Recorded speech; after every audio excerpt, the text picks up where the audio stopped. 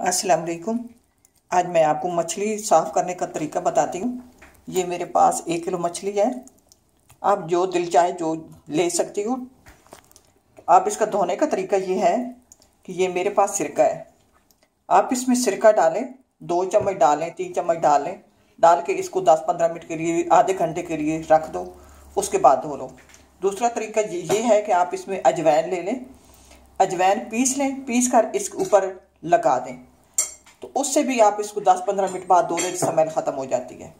आप इस पर नींबू डालें, तब भी स्मेल ख़त्म हो जाती है। दही लगाएँ, तब भी स्मेल ख़त्म हो जाती है।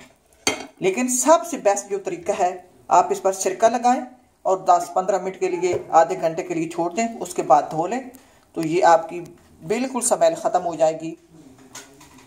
तो ये है कि कई मछलियाँ ऐसी होती हैं जिनमें पानी होता है। तो आप ऐसा करें कि पहले उसको रात भर बाहर रख दें फ्रिज में ना रखें। आप पीस में करके तो रख दें, दिन को रख दें सेकेंड टाइम बना लें कि पहले उसका पानी जो है वो ड्राई हो जाए। उसके बाद ये सिरका लगाएँ, इसको फिर थोड़ी देर के लिए रख दें, दस पंद्रह मिनट के लिए रख दें। टाइम नहीं है तो फ़ौरन भी धो सकती हो। तो इसलिए ये आपका जो तरीका है, ये सिरके वाला ये बहुत अच्छा है। मैं इसी से साफ़ करती हूँ तो इन आप ट्राई करना तो आपको बहुत पसंद आएगा और उसकी स्मेल ख़त्म हो जाएगी।